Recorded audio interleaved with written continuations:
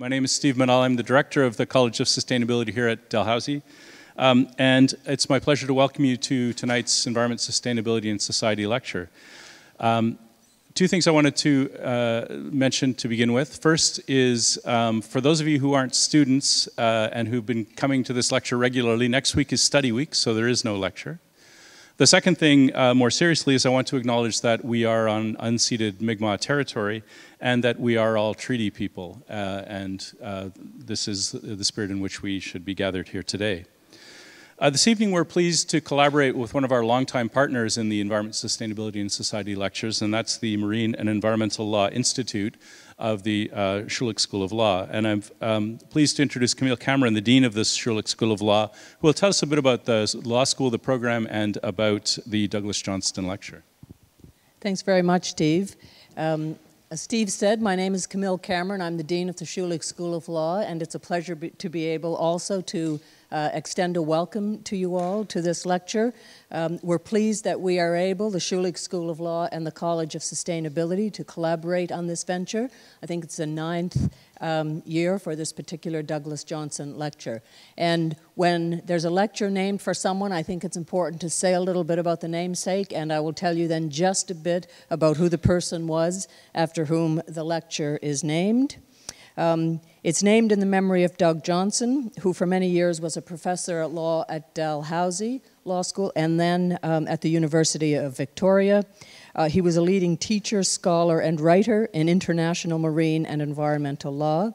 He published num numerous scholarly works on environmental law, international fisheries law, ocean boundary delimitation, treaty law, and the history of international law. His works include a number of authored, co-authored, edited, and co-edited books on the topics I've just mentioned. I've got a list of them here, but it's long and I'm not going to repeat them. Um, but it is quite an impressive list. Um, his numerous contributions to the law school included the development of a marine and environmental law program in the 1970s. We're very proud of that program. Um, it's one of our flagship programs, and it was the first of its kind in the country. Um, in addition to doing that, he also strengthened uh, our graduate program and generally contributed to the scholarly reputation of the law school. The last book he wrote received a posthumous award of merit from the American Society of International Law. Um, I didn't know him, but I'm told he was a mentor and a friend to many generations of law students and other researchers, and his name certainly is well known um, in the field of marine and um, uh, environmental and international law. Um, he had a particular passion about the Arctic region, the place of the Arctic region and its peoples in international law, and so I think it's fair to say that he would be quite impressed with the choice of the speaker um, for this evening. And on that note, and to introduce the speaker, I'll now turn things back to Steve. You Thank you. So it is my uh, honor and pleasure to introduce our speaker tonight, uh, Mary Simon. Mary was born in an Inuit village uh, with a population of less than 1,000 in Nunavik in northern Quebec. She began her work as a producer for CBC North before she began a career in public service. And it's a very long and uh, busy career. It sometimes gets it's daunting to read the accomplishments and efforts. She was one of the senior Inuit negotiators during the repatriation of the Canadian Constitution. In 1984, she was appointed by then Prime Minister Jean Chrétien to be the first Canadian ambassador for circumpolar affairs. And this was a post she held for a decade. Subsequently, she took the lead negotiating role in the creation of an eight country council known today as the Arctic Council. She has also held the position of the Canadian ambassador to Denmark. She chaired the NAFTA Commission on Environmental Cooperation and has served as the Chancellor of Trent University in Peterborough. She's received many international honors, including the Order of Canada, the National Order of Quebec, the National Aboriginal Achievement Award, and the Gold Medal of the Royal Canadian Geographical Society. She holds honorary doctorates of law uh, degrees from no fewer than five universities and most recently published a new shared Arctic leadership report with recommendations on education, infrastructure, and environmental protection in Canada's Arctic. It's our very great honor to have Mary with us. Please join me in welcoming Mary Simon tonight.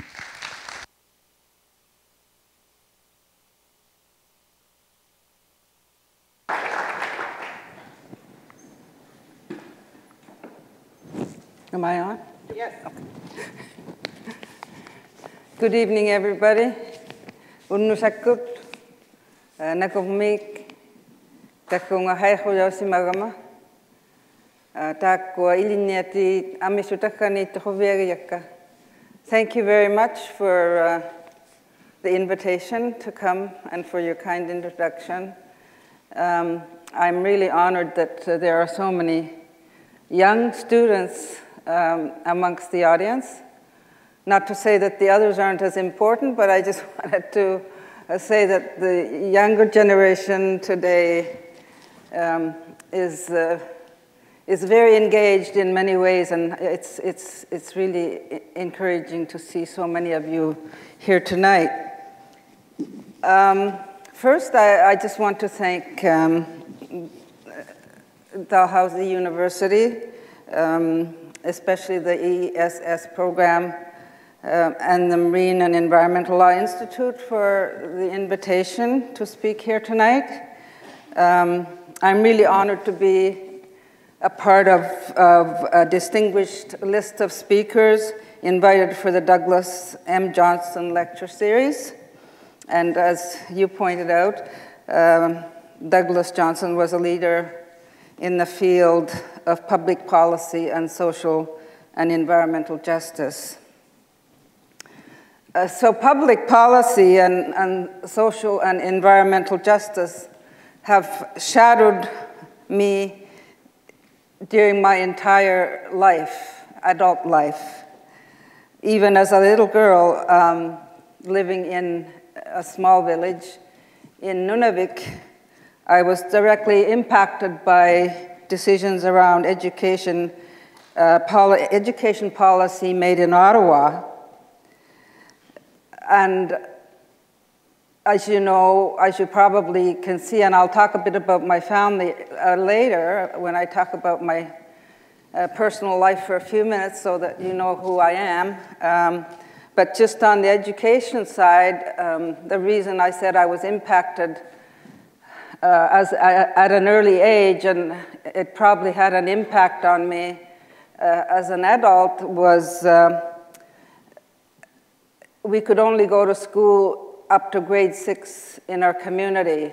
And even there, even though it was not a residential school, it was the federal day schools, we weren't allowed to speak our language um, in, our, in the school, in our community. So that was a very strange experience uh, to go through um, as well. But the, the big impact that, that it had on me was when my father, after grade six, went to the federal day agent and um, put in, you know, the uh, oral application to continue our education um, and because my mother married a white man, uh, we were denied that education.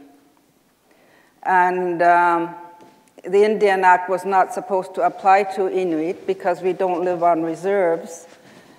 But at the same time, federal agents, um, when they, I guess, thought it merited the, a decision, would uh, sometimes uh, make these kind of negative decisions that had a, a serious impact on families. And uh, we happened to be one of those large families. Where there was eight siblings, and um, I, had, I have seven siblings.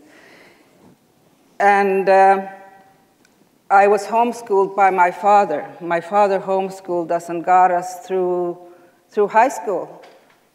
And uh, he must have been a very determined man because he had to order, order the correspondence courses from, from Alberta. And, and then, you know, we would go to school and then he would have to send uh, our completed courses out back to Alberta to get through the uh, accreditation system, in, especially when we were going through high school. So that's what I mean by being impacted at a very early age uh, when I was growing up because it didn't just happen to, to me or my family, it happened to, to others in different ways. Um, and when I was a young adult, um, I was also asked by elders uh, to explain policy issues that were being negotiated into land claims agreements. Um, this, and this was one of those life-changing um, experiences for me because it introduced me to the consequences of policy and the dynamics of a negotiating table. Um, like when you're a small group with very little resources and you walk into a room in Ottawa or in Montreal or anywhere else in southern Canada, um, you walk into a room where you are facing many people on the other side of the table, namely, um, uh, you know, government, government representatives, and also uh, developers, because they were also involved in the, in the negotiations. So these were like very quick, we had to learn very quickly without real, any real experience. And it was always based on um, what we were taught by our, our elders, that these were the positions that we had to take no matter what we were negotiating, that certain fundamental issues would, would not, we would not let them go.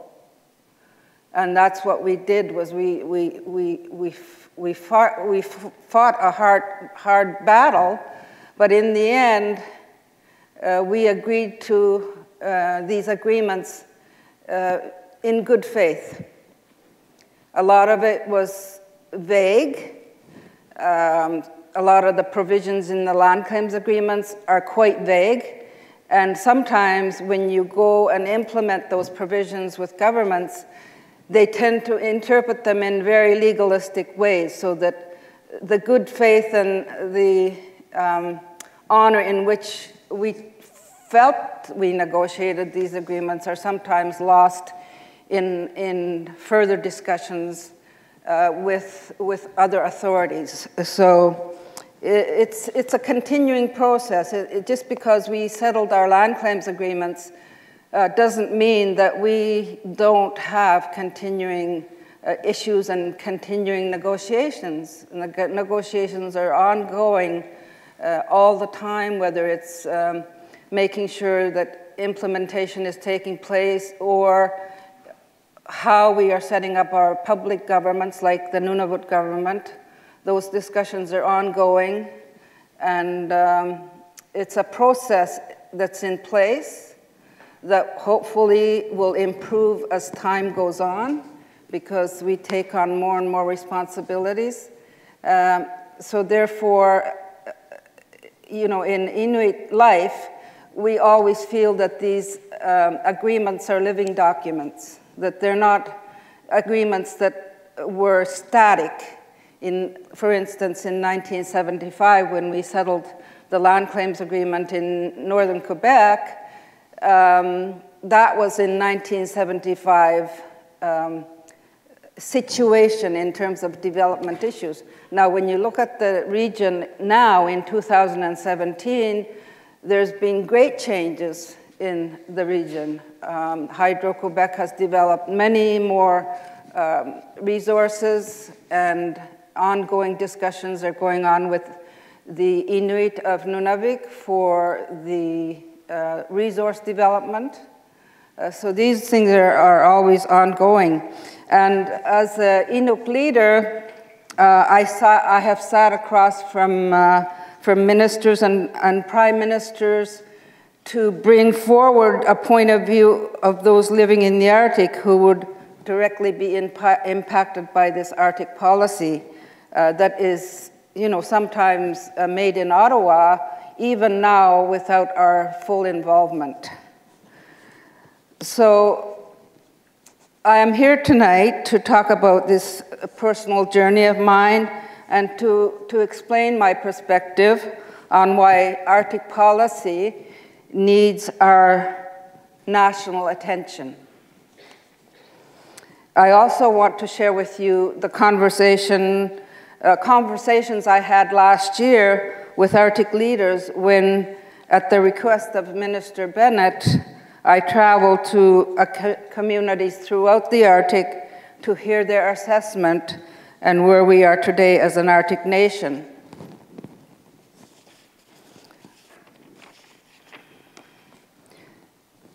I'll go back to that uh, report uh, after, but first I, would like to talk a little bit about uh, my family because it is part of uh, the life that I continue to lead. And uh, this is the region where I come from. I come from Kuujjuaq.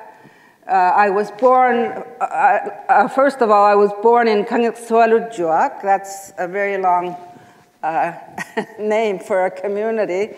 But uh, I was born there, and then I, I, I was raised, I, I, the family made Kuujjuaq our home community, so we moved when I was about five years old. Um, so next. So this is uh, a picture of, uh, of uh, my family. Uh, some of my siblings on the left side, uh, my grandmother in the middle, and I'm there on the left with the scarf around her head. and we're proudly showing off a seal that, uh, that my father was going to um, prepare for, for our food. So it was a, a very happy moment. And uh, there is my father, who, was, uh, who went to the Arctic when he was 19 years old. He uh, passed away on Remembrance Day in 2009, and he was 91 years old. So he never left the Arctic. And uh, he embraced my mother's uh, culture completely and wholeheartedly and, and spoke fluently several dialects of Inuktitut because he, was, he lived in different parts of the Arctic. And, and uh, when he was 19, 20, he was up in Arctic Bay and he was the Hudson Bay Post uh, fur trader. He was a fur trader uh, uh from, from Manitoba, from Sandy Lake uh, near Winnipeg. And um, when he was on Arctic Bay, he learned to speak the language very quickly. And in those days, when people like my father went to the Arctic, they became not just the fur trader, but they became the postmaster, the doctor that gave the uh, injections for some epidemics that, you know, that were happening, such as measles. Um, they became sort of the RCMP representative, although they didn't um, uh, do what RCMP people do, but kept track of what was happening uh, in the community. And uh, I think he was a great northerner. um, and this is a, a, a, a picture of uh, one of the federal, the residential schools up in, I think it might have been in Chester, oh, Aklavik. This is an Aklavik uh, picture in 1930. And these are some of the um, residential school students that were taken from their families to, to go to school. Um, and as you probably have heard, many stories about what happened in Canada with the residential schools. Um, so I won't go into a lot of deep uh, discussion about that. If you want later, you can ask questions. But I did want to talk about two words that in our language that are very significant. Um, and I used to hear these words when I was uh, a, a, young uh, child or, or when I was a young person. Ilira and kapea. Uh, they were used by Inuit to describe the combination of, uh, of fear, respect, uh, and a kind of a nervous apprehension uh, that, that they felt about uh, Southerners that came into the North. Um, and uh, these feelings kind of permeated our, our lives all the time. Uh, and I remember, I remember the feeling. Even today, I can actually feel it when I talk about uh, Ilira and Kapia. So um, it wasn't that people were against anybody, they just didn't know what was going to happen. And, the, you know, because the relationship wasn't developed in any way, um, when people were ordered to do something, they felt some fear and apprehension about what was happening. So um, I'm not talking about this to, to, to say in any way that, that uh, there was anything negative. It was just the, the, the feeling of the relationship that was, that was, that was present. Um, so, uh, oh, where are the words?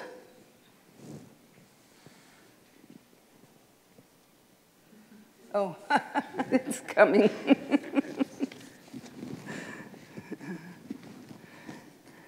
so the, this is uh, the, uh, has anybody ever seen this? No, so this is something that's been developed a lot by the, uh, the school in Ottawa, Nunavut. It's a special school that's been developed for Nunavut students that uh, finish high school and want to go to, to continue their education to learn about uh, Nunavut and the land claims agreements. So this is, this is a, a model that shows the pre-contact with the Southern uh, people and uh, how the relationship developed with explorers, the whalers, the missionaries, and the traders. And then after that, relationship, the government uh, era came into play.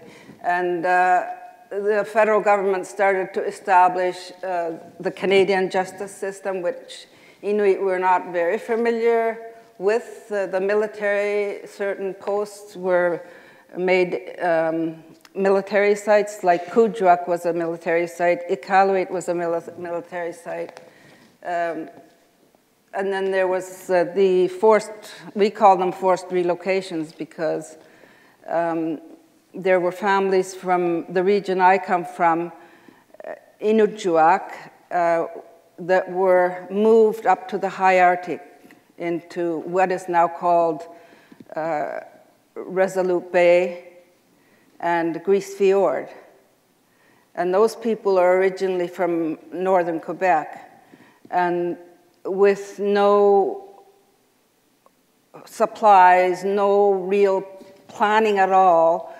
They were moved by ship into, the, into those northern uh, regions. Um, and in fact, they didn't, I, I was, I facilitated and co-chaired an inquiry into those relocations for the, for the Royal Commission on Aboriginal Peoples some years ago in the 90s. And uh, the elders that spoke at that inquiry uh, told us that because they come from northern Quebec where we have small trees and vegetation, they brought their wood stoves and their, and their tents. And they were put on shore by the ship and they were left to, to their own devices. But they found out that there was no wood uh, to make a fire because in the high Arctic there is no wood except drift. If you get wood, it's driftwood. Um, and they had to survive basically uh, on their own. They also didn't know that the sun was gone for, from November to, uh, to February because in Nunavik, it doesn't, it actually doesn't go all the way down. It, it's a very short day, but it doesn't go all the way down. So they, they didn't know that it actually went dark for several months. So these are things that, that people dealt with, but you know, they were very, uh, it's unbelievable how people can survive those kind of situations. But Inuit were very, um, they survived those elements.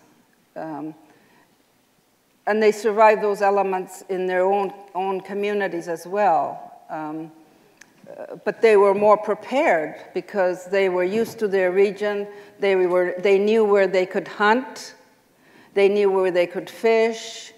So they were used to the, the, the area that, that, they, that they come from, so the hardship wasn't the same. It was completely different.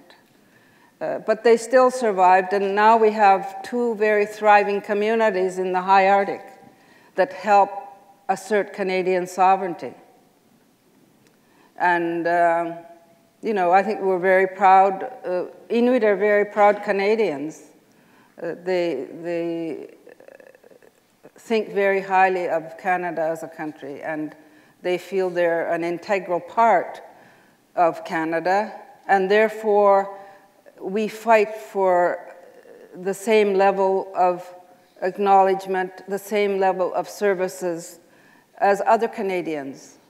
We are also taxpayers, just like other Canadians, uh, because we don't live on reserves. I mean, the relationship for First Nations is different, uh, and in its own way, it works for, um, although First Nations say there's a lot of issues that need to be addressed, uh, but in our case, we don't have a reserve system, uh, so we therefore don't um, have the same relationship with, with the federal government.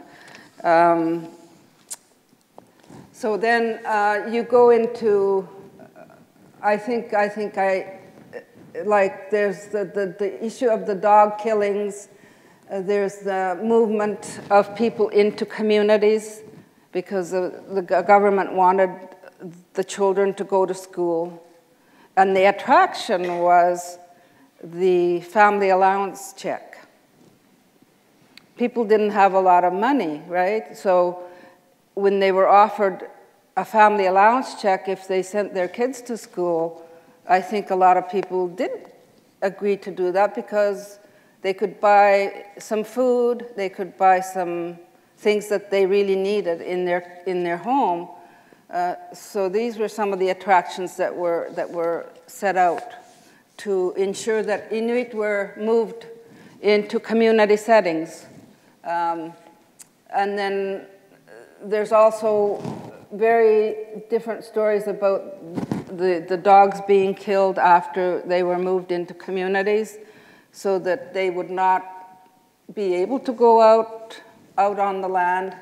Um, and then after that, you know, they started to, to create communities that, that were uh, involved in, in having a say about what was going on in their communities. And part of that movement was through the co-ops. The cooperative movement was one of the early um, organizations that came to the north that started to work with Inuit in terms of their ability to, uh, you know, carve. They carved beautiful car stone carvings. Uh, their printmaking was, was very, very good. Some people became famous because they were so good, as you know. And uh, so Inuit started to be involved in the, in the movement of, of making the communities more, more uh, sociably inviting to our own people that lived in that community. And uh, the leaders decided that one of the things that we had to do was to create a national organization so that Inuit that live across the Arctic in four regions uh, had one voice uh, nationally. So this was something that was formed in 1971. Uh, and uh, that was really the beginning of, uh, of the discussions about uh, having uh, uh, negotiations for settling the land that was outstanding, and development was pressuring governments to settle these claims so that, uh, the, so that development could proceed. so these negotiations began in the early 70s, and the first agreement that was signed was the um, James Bay and Northern Quebec Agreement. Uh, I couldn't remember the name for a minute there. Uh, the James Bay and Northern Quebec Agreement that was signed in 1975. And that's where I was talking about earlier about going into rooms where, you know, you had all these people on one side of the room and four or five of us on the other side and, and negotiating these very big issues and difficult issues that, that somehow, you know, the Inuit leaders got through all of this. And uh, here we are today, you know, things, things move ahead. Uh, not that there aren't problems, but we are still, you know, moving forward. Um, and things will get better. And that's, uh, I'm an optimist, so that no matter what happens, that what, that's what I always believe in. Um, so we had the land claims agreements. Then we decided we needed an international voice because there were Inuit that lived in Greenland a substantial number, mostly the island of Greenland, was made up of Inuit. Um, and, uh, and then there was the Inuit in Alaska. There was a, a lot of Inuit living in Alaska. And in fact, it was a leader from uh, Alaska, from the North Slope Borough, Eben Hopson, uh, that first brought everyone together in 1977. I was a very young uh, person at that time, and I remember going to Point Barrow, Alaska, to be, to be involved in this international meeting with Inuit from three different countries. And to this day, I can remember the joy of how people felt when they got together as one people. It was, it was absolutely amazing. But we always had an empty seat because our brothers and sisters from Russia were not involved, we couldn't get them involved at that point. But when I became president in 1986, yeah, 1986, that's a long time ago, um, one of the first things that, that we did uh, the ICC Council was to start discussions with the Russian government to get the Inuit of Russia in Chukotka involved in, uh, in the organization. And it took us uh, um, many years, uh, from 1986 to 1992. 1992, they came to the uh, ICC General Assembly in, uh, in uh, Inuvik, and they participated for the first time. But when I went to Russia, I went to Chukotka twice in, in 86 and 87. And uh, even uh, perestroika hadn't really started yet, so it was still very much uh, a country that was not open to dialogue with other other peoples or other uh, countries at that level, at the indigenous peoples level. Even then, it was very difficult to get in.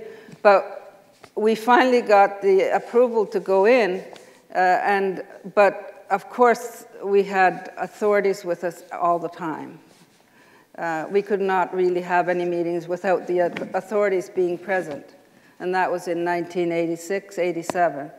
Um, but we did. We had meetings. They were all very cordial, and uh, we didn't make a fuss about them being involved. Uh, we just talked together. And I always like to tell this little story, short story. Uh, one of the council members for the ICC was from Alaska. And he was from when the Iron Curtain went down, there were two islands that Little Diomede and Big Diomede, and families lived in both islands. And they went back and forth by boat and by dog team um, and shared, you know, families hunting together. And when the Iron Curtain went down, within 24 hours, they had no contact. So this council member that sat on ICC with me came with me on this trip and he hadn't seen his cousins or his relatives for 40 years. So he was a young guy, like a, uh, I guess a young teenager, when, or a young boy when this happened. And uh, he brought his niece with him, that was a young person. And uh, when we got to um, Anadyr, he got off the plane and he saw these people and he recognized his, his cousins right away, even though he hadn't seen them for 40 years. And they started talking together in, in, in Inupiaq, Inupiaq, Yupik, is the language that they speak there. They, were, they, they hadn't lost any of it. And it was just amazing to see. It was so, so inspiring. And uh, I, I always remember that, that, that story. So, and then we got in, back into Canada, we did the constitutional negotiations. And um, as you know, we have uh, some recognition in the Constitution uh, as um, Aboriginal peoples in Canada with uh, distinct rights. Uh, and that was a, a long fought battle. um, and, you know, one little word may not mean very much to us a, on a day-to-day basis. But when, but when you're negotiating the constitutional, constitutional rights, there must be lawyers and law students in this room, one little word can break a negotiation. And I don't know, a few times like we were right on the verge of, of breaking off everything. And somehow we kept it all together and uh, had agreement with First Nations, Métis, and Inuit, and the provinces and the federal government. And uh, those rights that are in the Constitution are very few in words, but they took a long time to, to achieve. So um, they're, they're, it's a very meaningful, meaningful um, recognition because in uh, 1894 or 1896, uh, the Constitution called us savages. the term they used in that constitutional uh, document called us, uh, for a better word, they called us savages because I guess because we lived out on the land. Um, anyway, that's all changed for the better. And um, and then we had all these different land claims agreements in the Nunavut and Inuvialuit.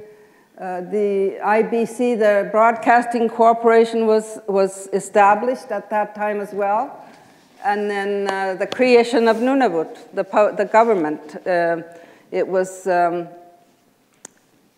it was agreed to at the same time as the land claims agreement. So when the creation of Nunavut happened, uh, or the land claims agreement was signed, we created, the Inuit and the Canadian people created a new territory and changed the landscape of Canada.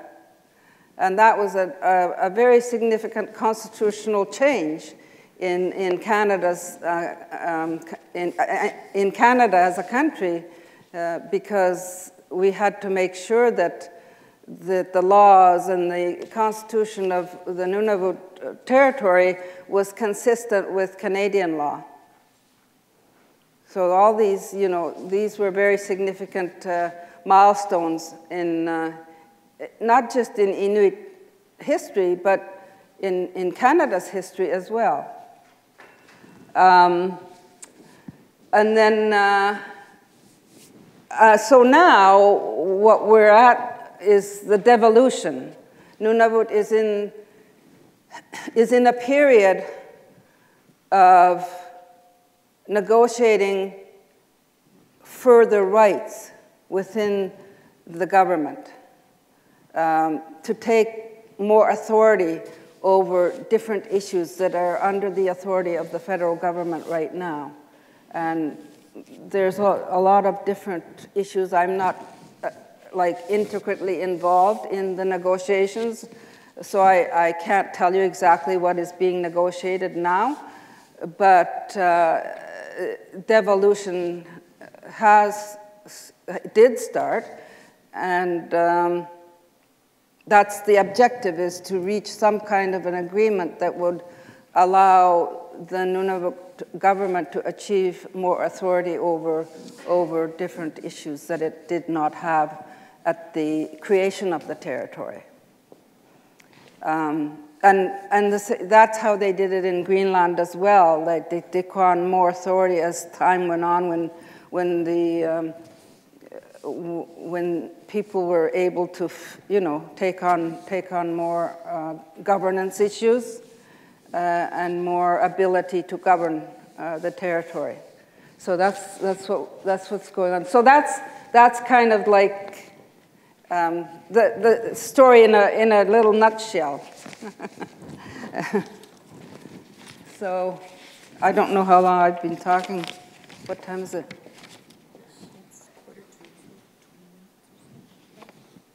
Oh, okay. okay. So I've already talked about this um, the, when we created the ICC, so you can pass that. Um, I did that as well, so you can pass that. Um, so that's uh, Prime Minister Trudeau signing the Constitution Act of 1982 with the Queen uh, when the Constitution was repatriated from, uh, from England to Canada uh, in 1982. So um, I talked about Section 35 uh, the, the rights of Aboriginal people. And you know, when I was talking about a word making, um, sorry, I, I, touched this. Uh, when I was saying a word makes a significant difference in a negotiation, the word existing was the word. Without that, we couldn't reach an agreement. They had, they had to have that word. That, that's the story of the Constitution, Section 35, is the word existing. And it, it does give some limitations when you, when you really put it into, you know, discussing law and, uh, and Aboriginal rights, how far back they go, you know, the, whether the Section 35 is, a, is either a full box theory or a half full glass or is it an empty box? So those, you know, the courts have, have now decided that it's more of a full box than an empty box. So um, uh, some of the court decisions have come out in favor of, of Aboriginal rights. But it's always a challenge to go to court. You never know how it's going to go. So uh, those are decisions that have to be made by leaders. Um, and then remember Elijah Harper? Anybody remember Elijah Harper? Yeah, Meech Lake. Meech Lake was negotiated uh, without recognizing any Aboriginal rights. And that was after Section 35. So we, we were going to lose the whole thing, and Elijah Harper had the one vote.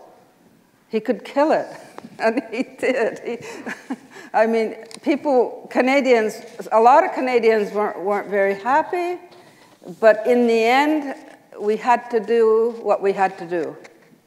It was not against anyone's rights, but to be excluded from a significant document like the Meech Lake Accord was enough for Elijah Harper to vote no. And that's going to be uh, in the history books, I hope.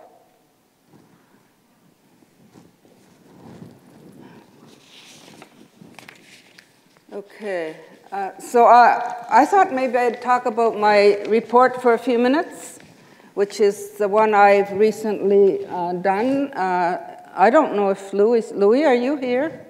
Louis.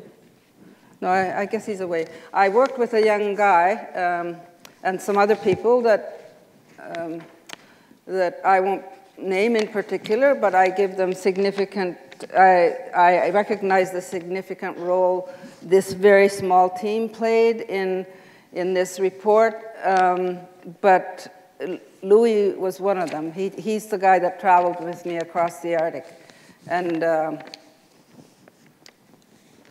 it was a very uh, challenging appointment, and it was based on the joint um, declaration that was signed by Obama and uh, Trudeau. And with that declaration, they decided to appoint a special representative for Minister Bennett to see how they could implement this declaration. And the main thrust of, uh, so I was asked if I would do this, and I agreed to do it because I felt it was, it was significant. Um, and uh,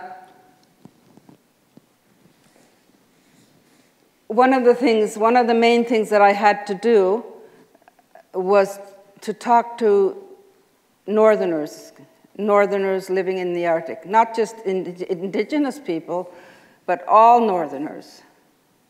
So we consulted uh, from Labrador, Newfoundland, all the way to Whitehorse in the Yukon.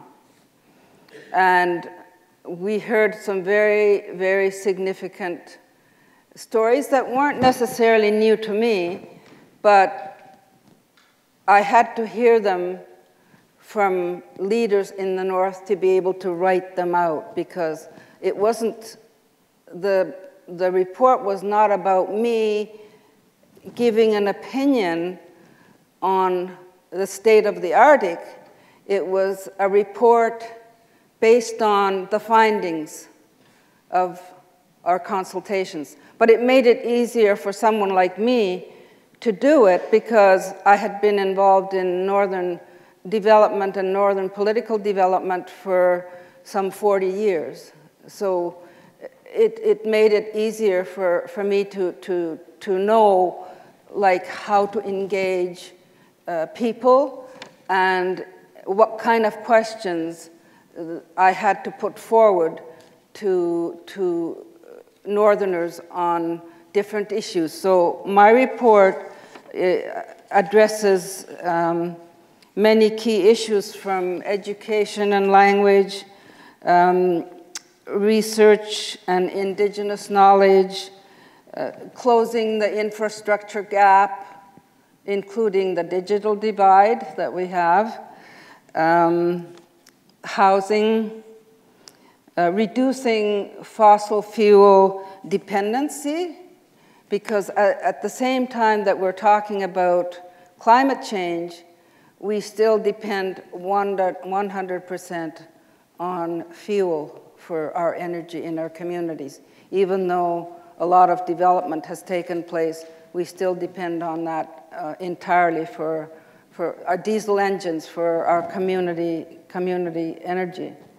Um, so the option of looking at alternatives uh, was one of, the, one of the things that I had to look into.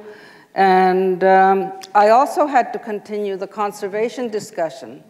One of the key findings that we made was, was that indigenous northerners really wanted to have protected areas, indigenous protected areas that could be different from uh, national parks or from other protected areas because there are not hardly, there are no protected areas in the marine except now with Lancaster Sound.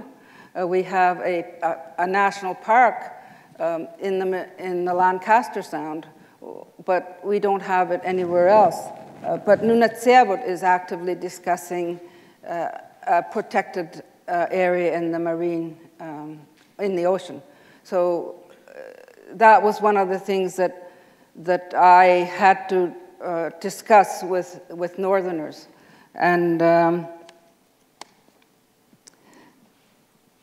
what I found when I was consulting uh, people was that every single meeting that I went to or every single person that I spoke to always talked about how, how important education was. But education in the context of creating something that was meaningful and people could identify with as, a, as an Aboriginal person, which meant that we, would, we need to develop education that uses Inuktitut as a teaching language or another indigenous language in the north, and that we needed to develop curriculum to be able to teach in the Inuktitut language beyond grade four. Like right now, we can teach Inuktitut up to grade four, but after that it's, uh, it's English or French. Um, but the objective is to create a new um, education system that includes the use of our own language as a teaching language and to develop curriculum that is, that is also based on, on uh, the North and, and uh, not just on the people, but the, the North and the Arctic itself. Um, an education, we decided when we were writing the report, we decided that we had to frame the report uh, in a way that put education as the cornerstone of all the issues that, that people spoke to me about. Because if we had a good education system and we had better educated individuals, the workforce would change, the dynamics of, of job opportunities would change. Um, so education sort of became the cornerstone of the whole report. And um, I won't go into a lot of detail on it, but I think if anybody is interested in reading it, it's not very long. Uh, I, I, didn't want to uh, publish a long report uh, because I find that when I get these thick documents, you know, you read the first, I don't know, 10 pages or so, and then you sort of go to the end and read the end. So I thought, well, why not do a report that will allow people to read right through it?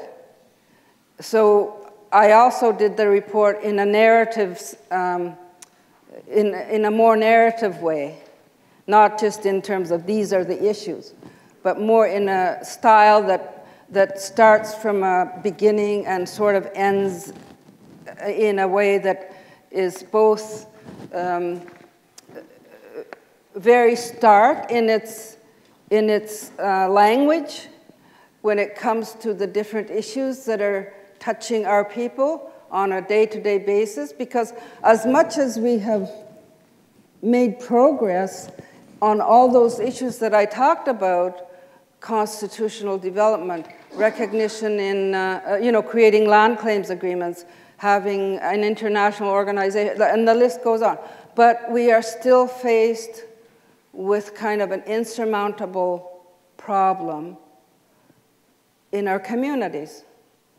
The social infrastructure, the social well-being, mental health issues can continue to be issues that that dominate some of our discussions in the North. And I, uh, like when we were doing the report, we, so, we, we asked ourselves, why is this happening? Despite all these things that we've achieved, why are we still in this state? And uh, the report tells you why. And it's because of all those other things that have happened historically where we continue to have severe impacts on our social, um, mental health capacity. The impact was so great that intergenerational trauma was passed on to people's children, like violence in the family, um, violence against women. Now we have uh, not just suicides, but we have some murder cases happening. And that happens in every society, but when we look at a very small group of people in a large region, it's very like stark. Um, so this, the report tells you, I think, why we continue to have those issues. And I end my report with mental health. Because until we can address the mental health issue that is facing our communities and the social problems that continue to face our communities, um, the education uh, the, the level of education that will be achieved is still low because if you're not well, you're not going to want to go to school. You're not, you're going to drop out at, in grade nine or grade 10. That's really sort of the uh, level when kids drop out of school up north. Um, and then there's no service to help people with some of the problems they're having mentally. And that, and that can be traced back to, to, to these issues that, uh, that, that I talked about. Uh, so I'm, I'm, almost out of time. Um, so I just want to end my talk on, on, uh, with a few words on reconciliation, because that's been a pretty um, pretty hard, uh, pretty, uh, you can, I think we're done with the, oh, you don't want to see that.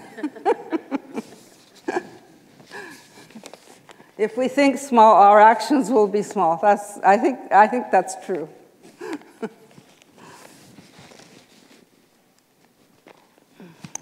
okay, so I just want to end my talk uh, by talking a little bit about reconciliation in the context of Arctic policy. Um, you know, like as I talk tonight, I think you could sense that, that we are aware, or maybe even fully aware, um, that we all face nation, nation building uh, questions, not just Indigenous people, but other Canadians also face nation building questions. And um, my generation of Inuit, as I outlined tonight, was the generation of, Inuit who left our homes on the land and moved into communities throughout Canada's Arctic and began the decades of long work of, of, of building institutions and uh, implementing land claims agreements. So your generation, a lot of young people are here, uh, your generation, I think, um, on nation building, and I am speaking to the students here tonight, will take many paths. But we are certain about one of these paths. Your generation will need to move forward um, on reconciliation with Canada's First Peoples. My own uh, personal view on, on uh, is that reconciliation doesn't fall to our leaders, it is also our responsibility as individuals to help make the kind of positive changes that we aspire to as people living in a great country like Canada. Reconciliation is about seeing things differently than the narrative most Canadians know about Aboriginal people. Reconciliation is about making changes in power relationships. And I think that is why uh, the work on a new Arctic policy is, is so important. As the great 19th century social activist Frederick Douglass once said, if there is no struggle, there is no progress.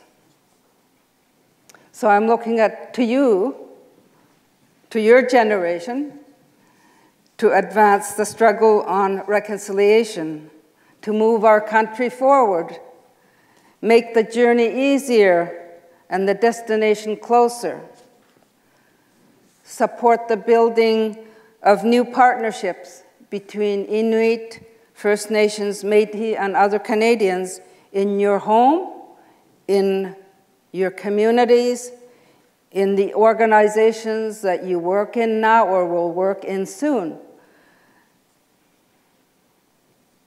If we all do that, our country, we will all be richer for it. So thank you very much tonight, and if you have any questions,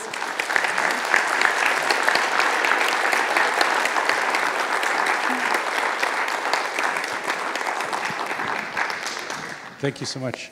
So we do have time for questions. We'll start with a couple of questions from students and then open it up to everyone. Uh, questions for Mary?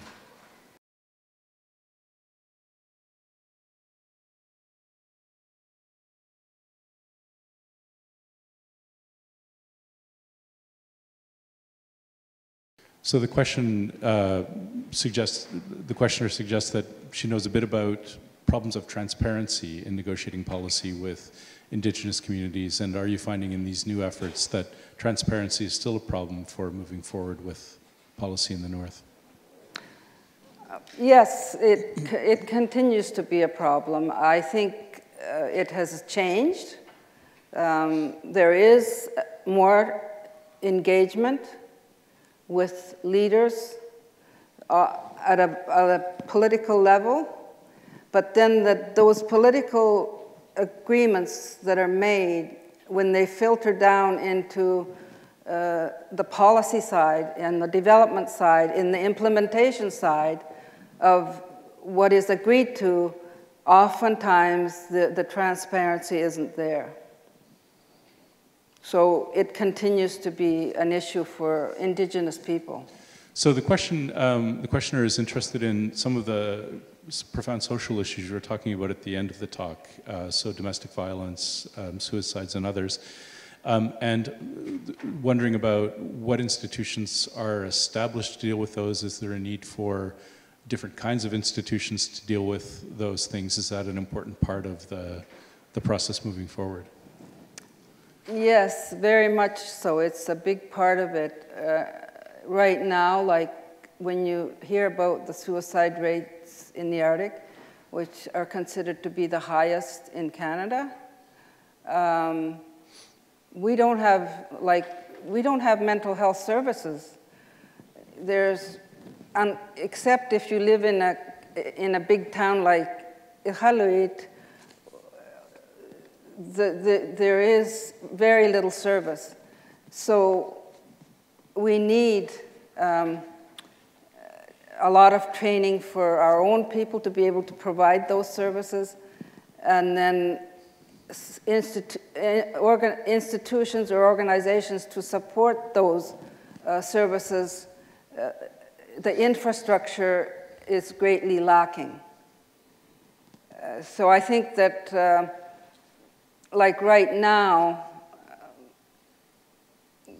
when somebody is, you know, has uh, attempted uh, suicide, they, they're taken to the nursing station or to the small hospital, and they just allow them to stay in the hospital for three days until they calm down, and they let them go home, and that's, that's the support they get. Um, so it's, it's, it's not, it's very insufficient. Uh, the incarceration rate has gone way up, so the, so the uh, jails are overcrowded. Um, like the men's uh, pr prison in Iqaluit recently, there was an article uh, in the Nunatsiaq News that said that, you know, the, the, it was so overcrowded that, you know, like 10 people uh, being in the same room kind of situation. And uh, that kind of support to engage um, people that can start to help uh, people that are in jail for petty, petty offenses. They need support to get out of that system as well. Um, and to engage them back into, into being productive uh, people in their own community. That doesn't just happen on its own a lot of the time. I think, you know, the support uh, is done through a process of, you know, bringing people out once they've served their sentence and providing some support to help them engage back into their community. Those, unless you're in a place like Iqaluit, in the communities, it's, it's pretty much non-existent. Just how, how important do you think uh, these kind of shared and transferring uh, authority models apply to things like social services as well as governance? Because in your graph of Inuit uh, history, you look at this uh, increase in Inuit authority mm -hmm. over their own lives. Uh, so in an emergency like a, a healthcare emergency or a mental health emergency, it, it, would be tempting to sort of somehow try and throw resources at it, but it, does, it, seems to be really important that that be done from within. Yeah, it doesn't always work uh, just by throwing money into the community. Uh, if the infrastructure and the training hasn't been done. Right. Like training and building a place where people can go shouldn't happen when there's a crisis. Right. It should happen before, and the services should be available before somebody goes into crisis. So the planning of the healthcare system, for instance, should mm -hmm. include that and perhaps in the negotiations they are doing that. I'm not, like right. I said, intricately involved in the negotiations, so I can't say that that's in or out uh, in the, of the discussions, but it is, it should, it should be an integral part. Right. Okay. Uh, questions from anyone? Thank you. Yes. Mm -hmm. So the questioner observes that the Circumpolar Conference tries to recognize a kind of singular Inuit nation that spans four different countries, at the same time as those four countries are increasingly squabbling over the resources under the Arctic seabed. Um, is there potential for uh, conflict between Inuit and their the, the, the sort of recognized nations when those recognized nations begin to have conflict over resource? Uh, between Inuit, I'm not sure, but um, there certainly is uh, a potential for conflict. Uh, but we don't call ourselves a nation within the circumpolar countries. Uh, that discussion has never really taken place. Like we are a nation within a nation, within different nations. Um, but we are part of the Arctic Council, which I didn't talk about. Um, indigenous people, the international organized, six international indigenous organizations are part of the Arctic Council as permanent participants, which allows them to participate in the ministerial meetings with foreign ministers when they meet every two years, and then they're involved in all the working groups, in all the senior officials meetings. Um, so that status, which has never um, been realized in other forums, gives, allows indigenous people to participate in those talks.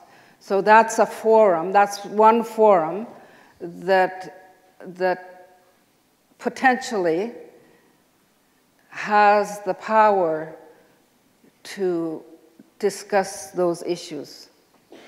And so militarization is not one of them. That's not that's off the sub, off the agenda. We had to take that off the agenda because we already have a forum for military military activity. Although we argued that um, military activity can create environmental degradation or environmental issues and therefore the Arctic Council should be able to discuss those issues.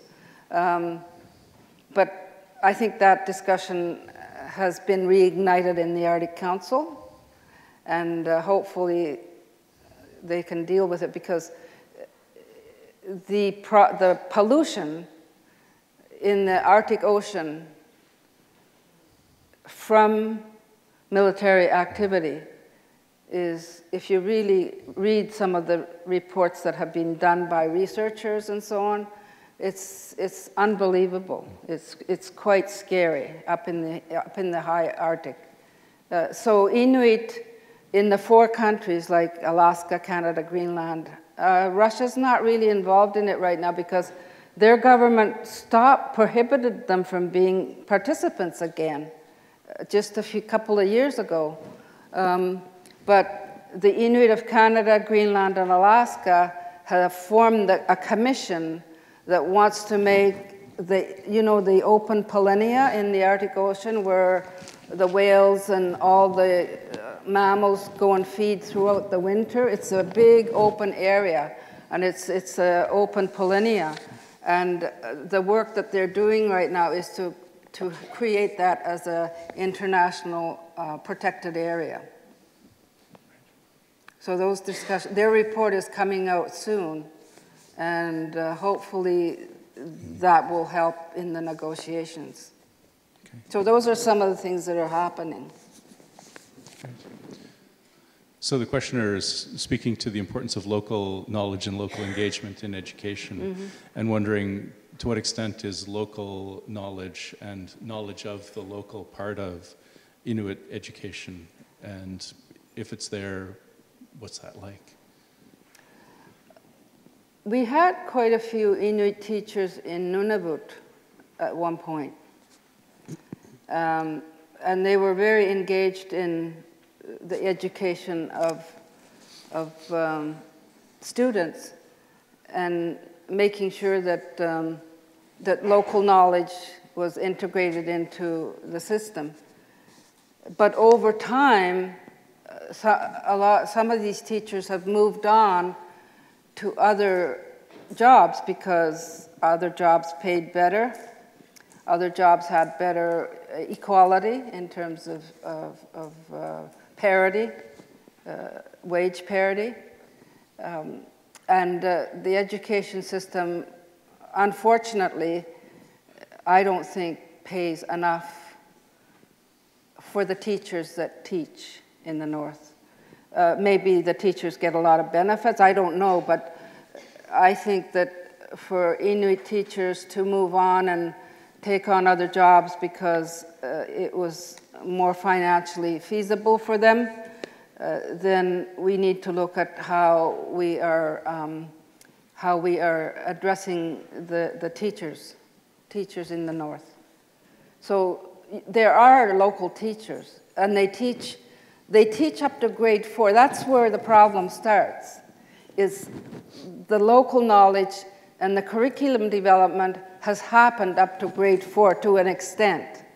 It's still not the level. It's not an equal level all the way. It should be standardized, but it's there. But after grade four, we don't have a lot of Inuit teachers that can continue to teach, let's say, grade five, six, or seven, except maybe a few, like maybe there's a handful. But there, that's not enough. That doesn't engage nearly enough teachers. So we need a lot more training, Inuit, uh, training for Inuit teachers to be able to teach in our language. And that's, that's part of the challenge is to, is if we want to teach Inuit as a language of instruction, then we need to have Inuit teachers to do it. so that's, that's part of the challenge as well. Mm -hmm. So, so if I could summarize the, the comments for the audience. So you're, you're recognizing from another forum involving master mariners and Coast Guard that there's a recognition that when dealing with these issues, the very first principle is to develop a, a principle around partnership, around inclusion, around Inuit and other indigenous persons being at the table at the level of principle, not served by or subservient to. Great.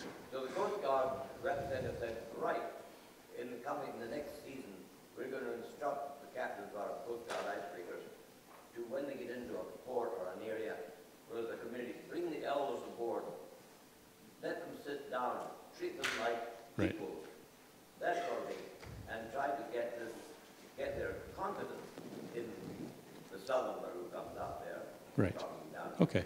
So, so we can share the outcome of that, that seminar then was an encouragement that captains of Coast Guard vessels would bring elders aboard, treat them as partners and guests and, guests and reciprocal hospitality. There was a, a professor from the University of Alaska, she herself was an Indian person. Right. And she said, oh, the U.S. Coast Guard, they're doing that. Right. Well, the U.S. Coast Guard is doing that. Canadian Coast Guard, they bring these, now some of these people have knowledge like you wouldn't believe. Right. Uh, about the areas, about the weather and everything. And so we should be using that. Right. But treat them with respect and give them some recognition, thank recompense for Okay.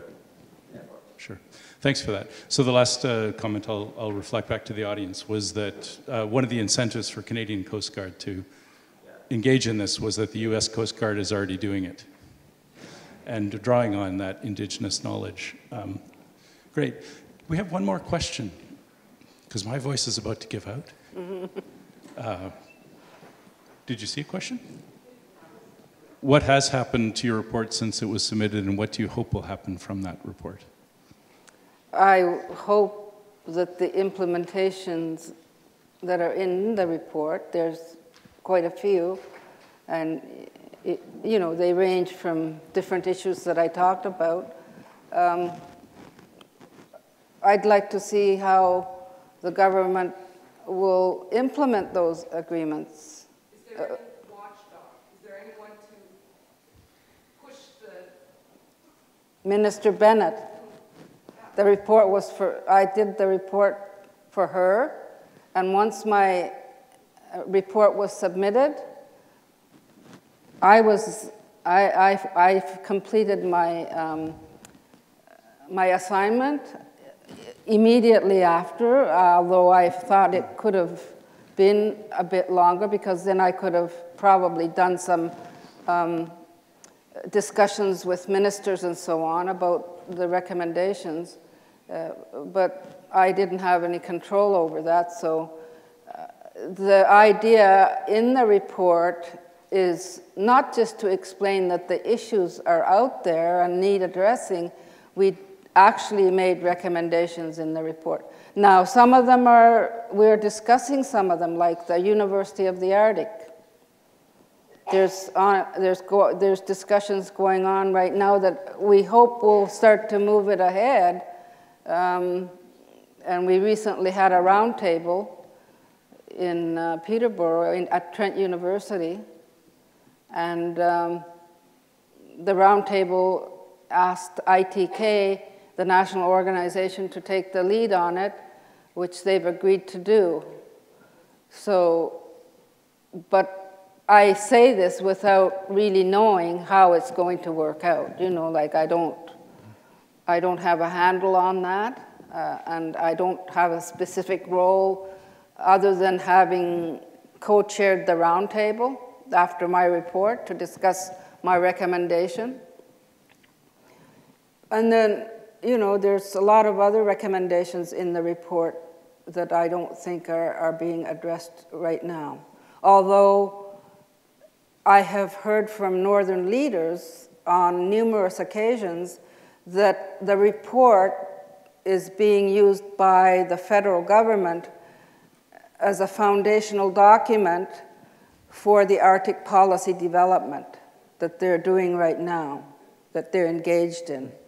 So hopefully, you know, it, it, has served some purpose, uh, but the objective is to, to have those discussions uh, both with northern leaders and territorial governments to see how, how specifically those recommendations can be dealt with.